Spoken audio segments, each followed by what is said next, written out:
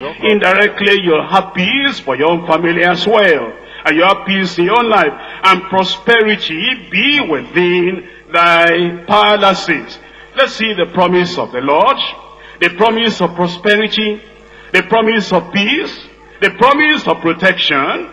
For the people that take this injunction, this exhortation very serious.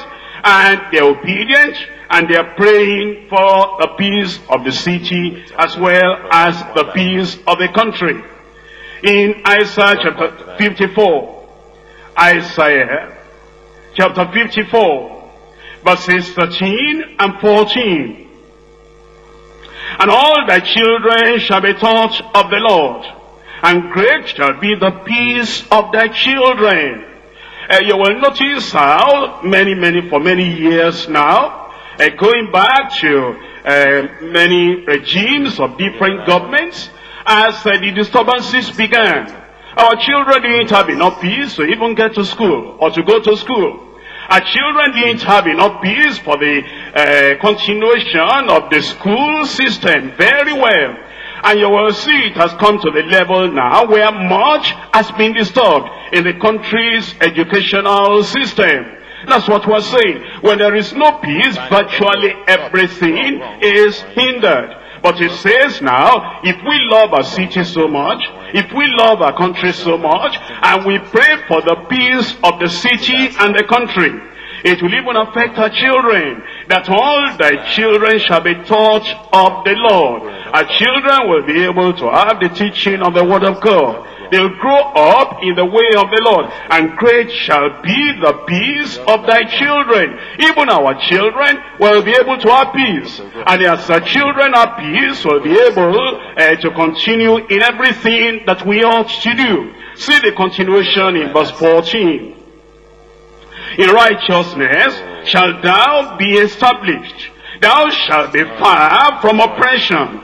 Thou shalt not fear, nor, uh, and from terror, for it shall not come near thee. Here it's telling us that if uh, we have peace, then there'll be righteousness as well. In fact, it says in that righteousness, we shall be established. Thou shalt be far from oppression. You see the result of the prayer. We love our country. We love our city. As a result of that, we're praying. And then it says, we will be established. There will be no oppression. And we'll even be free from fear and from terror. It says it will not even come near and it will not come upon us. We go back to the Psalms in Psalm 147.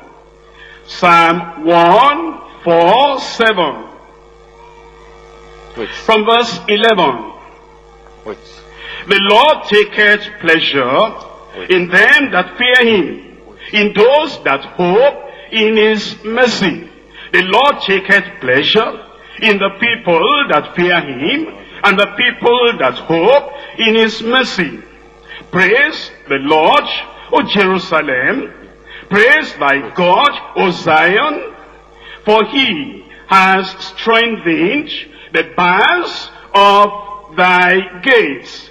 He has blessed thy children within thee. He maketh peace in thy borders, and filleth thee with the finest of wheat. It's also talking about having enough to eat. When the commerce is not disturbed, when everything is going on as it should go on, it says he will even give us the finest of wheat which there is symbolic of food in general. And the finest of wheat is talking about the very best that we can have and we ought to have. He sendeth forth his commandment upon earth. His word runneth very sweetly. That means then that there will be no disturbance to the preaching of the word of God. In fact, the word of the Lord will run very sweetly as you have seen from the passages we're reading, that whenever there is peace, there will be collective prosperity. There will be individual prosperity. And there will be spiritual prosperity as well when peace is reigning. The promise is connected with the command in the text. In fact, it says, they shall prosper. They shall prosper that love thee. And as we look at the fullness of the meaning of that prosperity, number one, you'll prosper in your soul. That is, you'll be able to have your quiet time, you'll be able to read your Bible, you'll be able to pray, you'll be able to get to church, you'll be able to do everything you ought to do. If there's retreat, you'll be able to attend. If we're planning crusade, you'll be able to attend. Whatever needs to be done, you'll be able to do it for your soul to prosper spiritually. And that's the will of the Lord in second, in third John, verse 2. Third John, verse 2. Beloved, I wish above all things that thou mayest prosper and be in health, even as thy soul prospereth. Beloved, it says, this is the wish of the apostle, not only of the apostle, it's the will of God. And it's the desire of every right-thinking person that you will be able to have prosperity in your soul. And of course, you'll be in health, uh, you know, you don't know many lives are lost whenever there is disturbance unrest. Uh, if you are not able, if the ordinary person is not able to the hospital, or if the ordinary person is not able to get to the person that might pray for him or help him to be well, how lives are lost. For us to have peace, then if we have peace, there'll be healing. If we have peace, the hospitals will function better. If we have peace, the school system will function in a better way.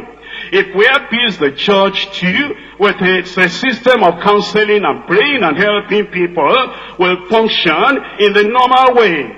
That's the reason we're praying that there should be peace in our country. But then it will bring prosperity to the soul. Number two, prosperity in the family. And number three, prosperity in the church. Although when we're talking about prosperity in the church, we're not just talking about material things. We're not talking about money alone. We're talking about spiritual prosperity. That the church will be able to have, they'll be able to enjoy uh, the peace and the prosperity and the winning of souls and the watch of God will continue. In Acts of the Apostles chapter 9. Acts of the Apostles chapter 9. Verse 31.